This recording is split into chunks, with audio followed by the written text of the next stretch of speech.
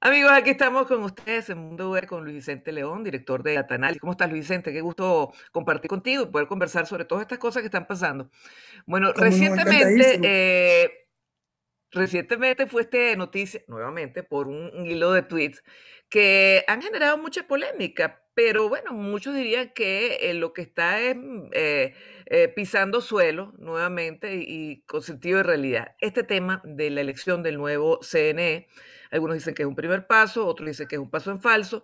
Tú, sin embargo, pues señalas, mira, este, como la canción de, de Vivo Invisible, esto es lo que hay. Y, y pareciera, pues, según tu análisis, que em, e- es por lo menos una, una carta distinta. Me gustaría, pues, que ampliaras con nosotros tu visión.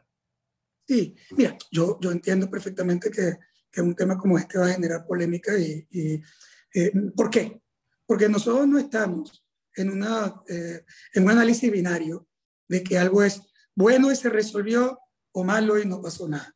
Eh, eh, se resolvió el problema porque el gobierno aceptó incorporar eh, algunos líderes opositores en el Consejo Nacional Electoral, líderes opositores o, o- funcionarios o expertos de confianza de la oposición en el Consejo Electoral hace ese Consejo transparente. No. Vamos a tener una elección competitiva y democrática que va a permitir que toda la población venezolana se exprese y, y gane eh, eh, eh, y muestre su mayoría y su fuerza. No.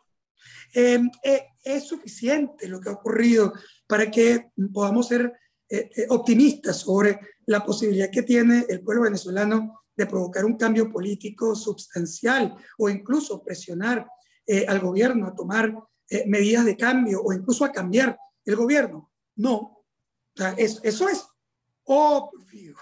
Es decir, es evidente que no está pasando nada de eso con un nombramiento que incorpore a dos actores de cinco, eh, eh, eh, por muy pura sangre opositores que esto sea. Entonces, claro, si yo no te puedo decir a ti que la decisión cambió radicalmente la realidad y garantiza que, el- que la población se puede expresar, entonces lo, lo que, lo que se genera automáticamente es, bueno, entonces, ¿para qué voy para eso, no? O, o- o de qué sirve eso?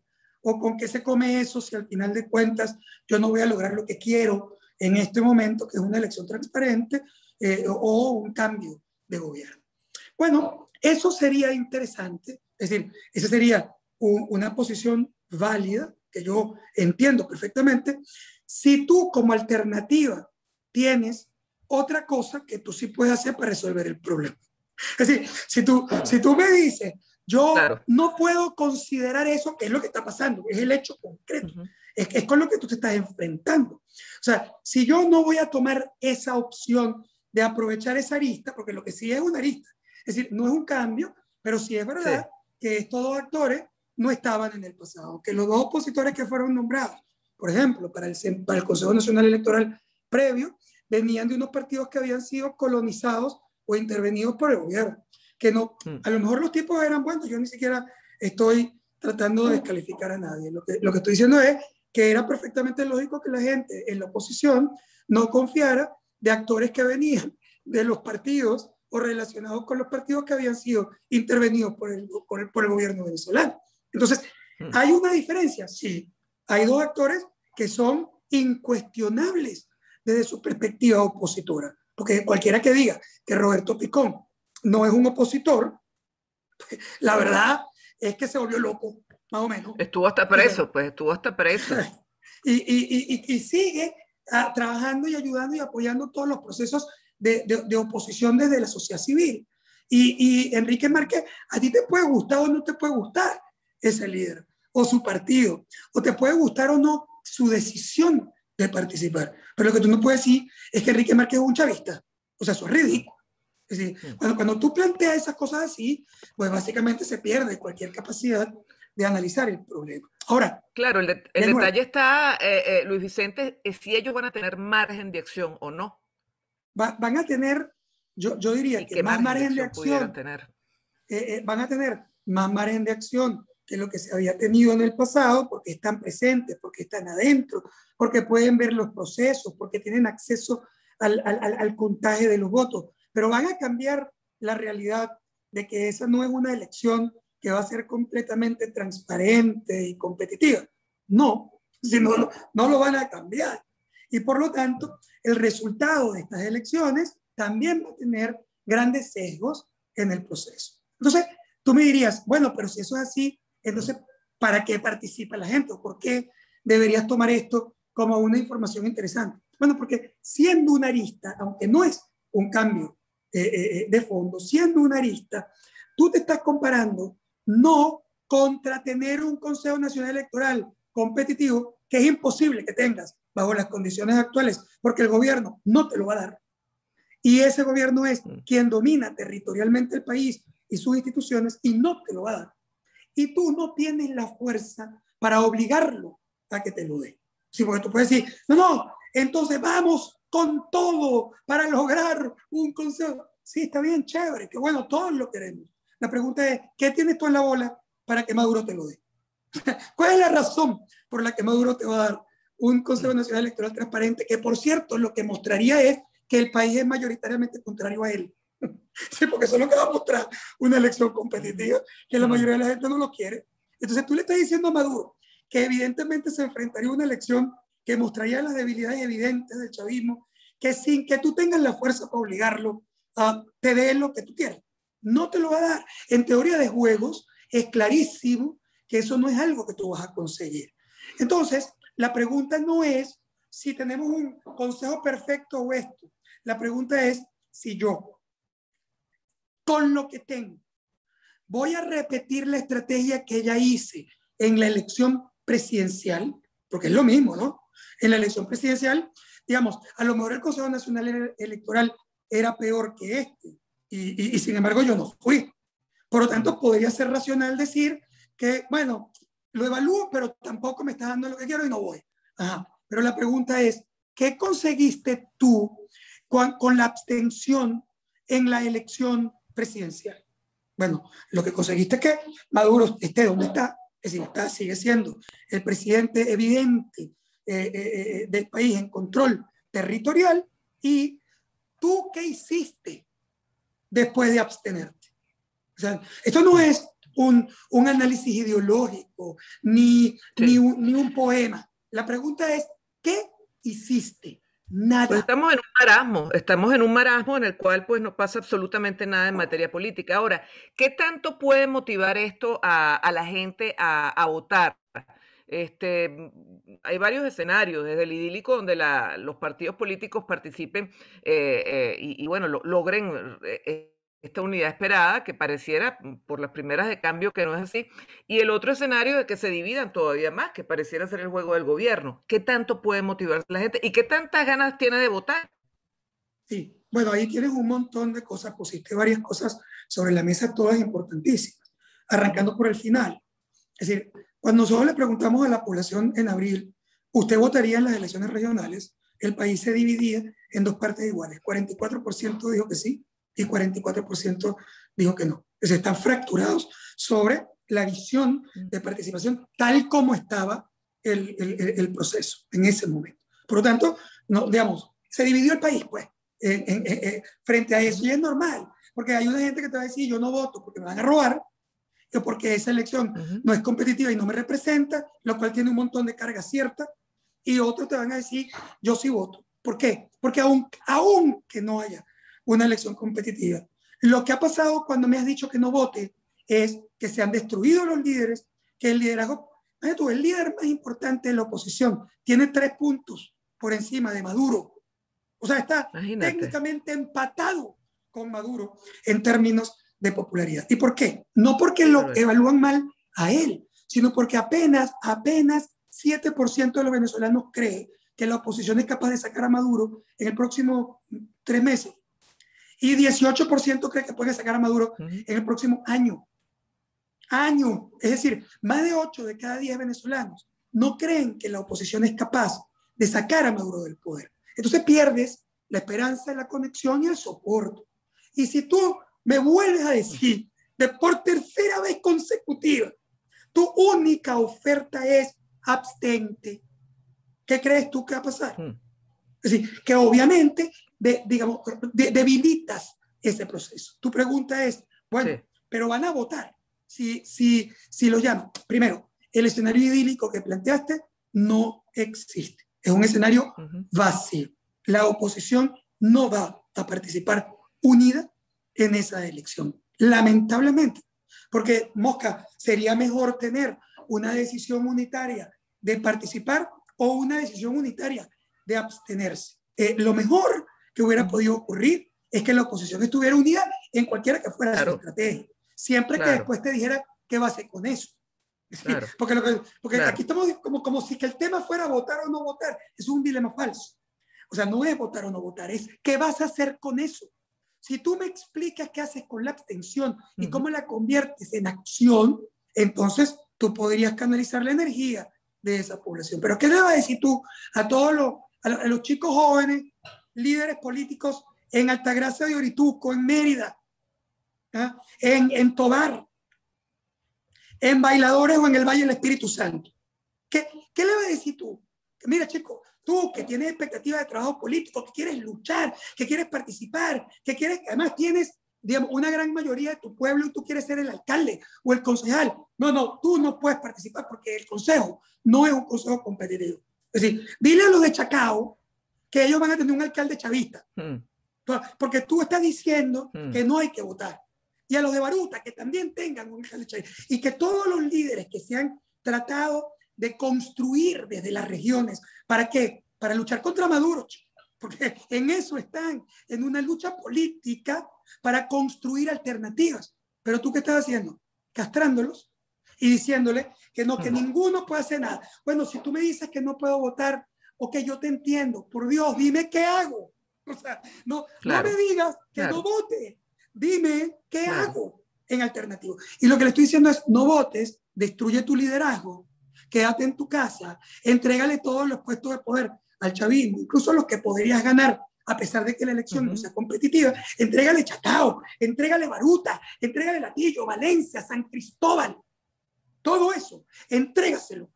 los alcaldías de tus zonas, entrégaselas al chavista, porque tú no puedes participar. Entonces la pregunta es, ¿y qué hago con eso?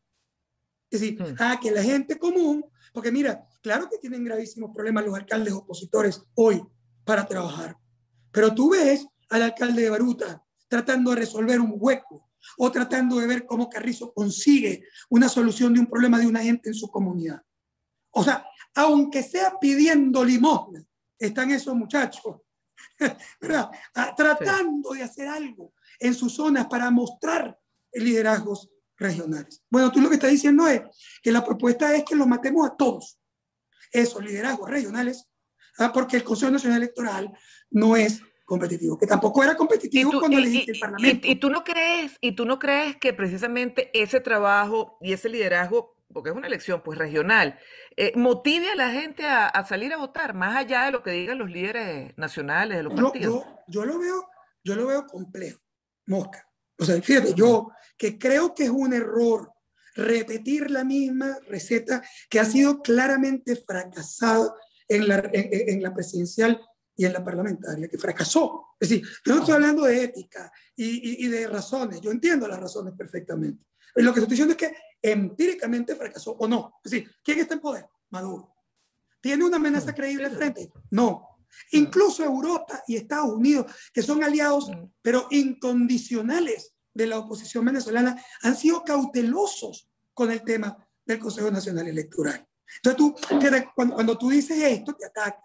Es decir, pero, pero fíjate, resulta ahora que Estados Unidos se convirtió chavista porque no dijo que no y, y, está esperando a ver cómo se desenvuelve. Europa se convirtió en chavista, completa colaboracionista y comprada por, por, eh, por Maduro. Eh, todos los analistas relevantes políticos del país, todos fuimos comprados por, por, el chavismo. Eh, Fede Cámaras resulta que es chavista. O sea, Fede Cámaras que hizo un comunicado y dice, bueno, eh, vamos a ver, hay, hay que hacer algo distinto, por Dios, porque lo que estás haciendo no funciona. Entonces son, son chavistas. Bueno, si todos los que el, radicalismo está diciendo que son chavistas o se convirtieron, en realidad lo son, entonces lo que están diciendo es que el chavismo es mayoría en Venezuela. Porque la mayoría de las instituciones, analistas, academias, profesores, rectores, todos están de acuerdo con que hay que buscar algo diferente. Entonces, resulta que el país se convirtió en chavista otra vez, completo. Es lo que está diciendo. Ahora, la gente va a votar. Pero, pero el... el... No, no lo sabemos. ¿Por qué? Porque, claro, la fractura que sí está cantada, ¿por qué está cantada? Bueno, porque hay diferencia de opiniones primero, porque hay gente que tiene, y tiene todo el derecho, de pensar que no vale la pena ir a votar. Es decir, yo, yo no estoy cuestionando ni la racionalidad de quien lo dice, o sea, lo está haciendo y, y, lo cree y, y, tiene todo el derecho a creerlo, si esa es la democracia. Es decir, la democracia es que tú y yo no tengamos que pensar igual. Y ellos pueden pensar que es un error y a lo mejor tienen razón. Yo no tengo el monopolio de la verdad. Yo, yo lo único que estoy diciendo es, oye, cuando yo lo veo, yo veo algo muy malo que es participar y algo terrible que es no participar. O sea, yo lo que veo es que tú, a ver, míralo así, participando vas a ganar. No se sabe y probablemente no. Es decir, ahora, no participando sí se sabe que no vas a ganar. Es decir, eso sí está claro. Es decir, hay una... Pero, pero, pero, fíjate, el, comunicado de la oposición, sí, pero, pero, hay algo que me llamó la atención. el párrafo final del, del, comunicado de la oposición, eh, claro, lo rechaza la forma en que fue designado, pero eh, pareciera que hay presión de algunos partidos, me imagino que Acción Democrática, un nuevo tiempo, y, y, no mm, descartan al final una negociación para participar todos. O sea, no fue que cerraron la puerta totalmente. Sí, pero tú tienes, eso es verdad, es clarísimo y lo has leído perfectamente bien. Porque a lo mejor no, sí, no, no es verdad que el G4 está unificado en contra de la participación electoral, eso es mentira. Hay dos partidos que quieren y dos partidos que no. Claramente. Claro, por ejemplo, Acción Democrática necesita que le devuelva sus símbolos para estar motivada a la participación política. pero si el gobierno le devuelve los símbolos, yo estoy seguro que Acción Democrática, igual que Primero Justicia, van a terminar participando. Y un nuevo tiempo, pues también. Entonces, tú, tú no tienes unidad. Pero ¿qué pasa? ¿Qué pasa? Que tú, a pesar de eso, no vas a lograr la consolidación del apoyo opositor porque hay un montón de actores que sienten un peligro en eso. Por ejemplo, quienes controlan realmente el, el, gobierno interino, el parlamento, eh, eh, los recursos de Venezuela en el exterior, los apoyos internacionales, sienten que eso es un peligro de perder el protagonismo. Por, por ejemplo, ¿quién negoció con Maduro ese CNE nuevo? Porque no entró por casualidad Roberto Picón. No fue que el chavismo agarró una lista y dijo, yo quiero meter a Roberto Picón. Eso es una mm. negociación política, por Dios. Mm. Ahora, ¿quién la negoció? No la negoció mm. el gobierno interino. No la negoció eh, Guaidó, ni lo negoció eh, Leopoldo, ni lo negoció probablemente el G4. Lo negociaron con otros players institucionales y opositores, incluyendo, por ejemplo, Enrique Capriles, claro. Es decir, porque aquí hay una división también, hay división de, de, de, pensamiento, división de estrategias y también división de líderes. Por supuesto que Capriles está ahí ¿Y, por qué está ahí? Porque se ha convertido y se quiere convertir en el líder que haga el engranaje entre todos los líderes regionales que sí quieren participar. Mira, no importa lo que diga el G4, Guaidó, Leopoldo, María Corina, es irrelevante. Los líderes regionales van mm. a ir a esa elección. Incluso si no hubiera estado Roberto Picón y Enrique Márquez, también hubieran ido a esa elección. Por lo tanto, es mejor que vayan con, con algunos aliados a que vayan sin aliados. Pero lamentablemente el hecho de que se muestren enfrentados y mm. se van a enfrentar también debilita la disposición de participación. Porque en, realidad la gente quisiera votar. No, no solamente quisiera votar, pero en una elección competitiva. Quisiera que se resolviera el problema en una elección, pero no se siente confiado totalmente en que esa elección vaya a mm. reflejar su voto. Entonces, claro, cuando tú enfrentas los líderes de la oposición, y, y, unos se atacan con otros, hay un grupo importante venezolano que puede sentir no vale la pena votar. Es decir, no vale la pena estar ahí. Y eso debilita la fuerza de los que quieren votar. Yo quiero terminar con esta, eh, esta la parte final de, de, tu hilo, que me llama la atención, porque bueno, pareciera pues que de fuera se ven las cosas distintas y, y, y se niegan las cosas que, están pasando en política aquí. Y tu parte final de, de, este hilo dice, usted recomienda no hacer nada como hasta ahora y dejar que la oposición desaparezca como está desapareciendo, sin ningún rol que cumplir en la sociedad venezolana, o tienes una propuesta distinta a, a todo esto. Al final dice, no se puede analizar la política desde los deseos y miedos, sino desde la realidad un buen líder no es quien emociona masas con propuestas en salsa de perro echado, sino quien logra diseñar propuestas adicionales creíbles, aunque sean eh, emocionales. Y bueno, definitivamente desde afuera, te pregunto, el hacer política desde afuera se ha vuelto totalmente distinto, ¿no? Claro, y ahí hay un... Te lo digo porque la mayoría de estos líderes que se niegan a votar, digo la mayoría, están afuera. Y el problema es que tú cambias tu objetivo.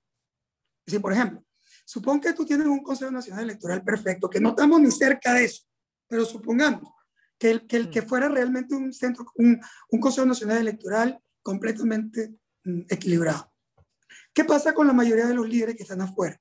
Que no podrían ganar elecciones regionales, porque, porque han perdido la articulación y la conexión, el, eh, eh, el conocimiento, el contacto directo con esos líderes regionales, que son eh, normalmente líderes que tú tienes que visitar, consentir, eh, eh, que, que, participan contigo en el recorrido por el país.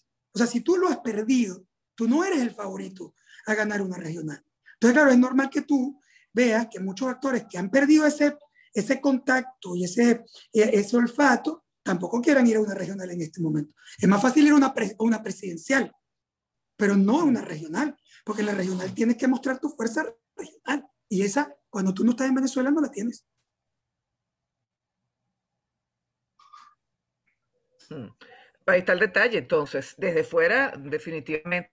Pues bueno, eh, eh, tú no puedes arrastrar un país que está aquí y que está dando batallas aquí en, su, en sus entornos. Bueno, yo, yo, yo ni siquiera los culpo, eh, porque la política también se basa en función de los objetivos de, de, cada uno de los actores que participa en ella. es más culpable que la población se deje. es decir, es más culpable que la gente no se pregunte ella en, su foro interior, no con las pasiones, porque, a ver, si tú me preguntas a mí, ¿te, te, gusta votar en condiciones no competitivas? La respuesta es no, claro que no me gusta. ¿Creo que vamos a tener un cambio fundamental? No, no lo creo. Pero si me preguntas, a ver, ¿qué prefieres? ¿Votar con un Consejo Nacional Electoral imperfecto, pero con algunos actores que van a estar ahí tratando básicamente por lo menos de que el proceso no sea lo que fue en el pasado, completamente eh, impresentable, y que algunos actores opositores van a ganar gobernaciones y alcaldías, sin duda, y que van vamos a poder tener cierta articulación de partidos y de lucha. ¿Tú votarías? La respuesta es sí, claro que sí. Porque la otra, la otra es muy simple. A cualquier, yo solo te doy una recomendación a ti como oyente, como venezolano, como elector. Si cualquiera que te diga que no tienes que votar, no te lo está diciendo por mal. O sea, simplemente tú tienes que preguntarle, ok, no voto, ¿y qué hago? Porque si te dice que vas a hacer lo mismo que hiciste cuando te abstuviste en la presidencial y que vas a hacer lo mismo que cuando te abstuviste en la parlamentaria y que vas a tener el mismo resultado, que es pulverizar los liderazgos, de pulverizar la esperanza de cambio, dejar a Maduro fortalecido y tener y perder todos los espacios de lucha interna, tú mismo respóndete si vale la pena o no. No te lo tengo que responder yo. Eh, ya para finalizar, ya para finalizar, te copio eso, dejar a Maduro fortalecido. Una elección de este tipo con dos, mm, eh, supuestamente una apertura, una, una, una, ventana, un resquicio de oxígeno para la oposición, no deja a Maduro más fortalecido, sobre todo ante la comunidad internacional. Sí, claro, claro, también es verdad. Es decir, es que lo, lo que pasa es que los análisis políticos no son binarios. Es decir, eh, ¿qué pasa? Maduro te está entregando esos dos personajes. ¿Por qué? Porque él espera ganar algo. Si no, no te lo hubiera entregado. No te hubiera entregado eso, no te hubiera entregado los presos políticos, no te hubiera entregado así a los señores de Citgo, no te hubiera dicho que pueden venir los observadores europeos. Es decir, ¿por qué te lo iba a dar si él piensa que va a perder? O sea, ¿por qué? Analízalo desde el punto de vista racional y en teoría de juego. Es decir, él te está dando eso porque él también espera ganar. Es un win-win en todo caso. Él piensa que una parte de la oposición va a ganar algunos espacios, algunos liderazgos, alguna articulación, que va a poder respirar después de no tener respirador, ah, ah, ni siquiera respiradores artificiales tiene en este momento la oposición, él está permitiendo un respirador artificial que no le permite sacarlo del juego, que no le va a permitir ponerlo en riesgo, pero que sí le va a permitir tener gobernaciones, alcaldías, articulaciones, recursos, debate, presentación, medios, eh, eh, y darle algo a la gente para que se sienta participando. Ahora, ¿qué gana él? claro que gana. Él gana también que fractura a la oposición de manera brutal, que ya lo había hecho en las parlamentarias, pero ahora lo va a hacer todavía más duro. Es decir, que también es verdad que, que, que el mundo empieza a decir, mira, vale, ¿sabes qué? Yo no puedo seguir apoyando la tesis de la abstención, abstención, abstención, abstención sin nada, porque al final lo que estamos haciendo es construir un gobierno como el gobierno en el exilio de Cuba, eh, eh, eh, digamos, despachando desde la calle 8 de, la, de, de, de Miami. Es decir, o el exilio del Shah de Irán en Nueva York, que gobernaba en las fiestas de, Nueva York. ¿sí? Eso es lo que está construyendo, porque tú no me estás diciendo nada distinto.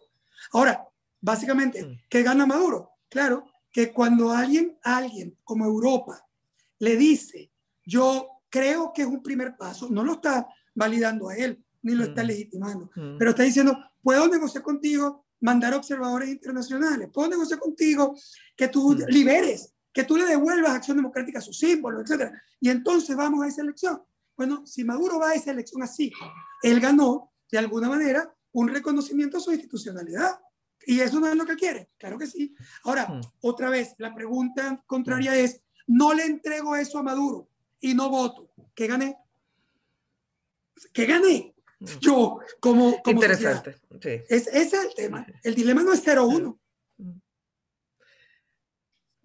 Bueno, y el dilema además va a estar en cada uno de nosotros ante esa alternativa y hacernos muchas preguntas.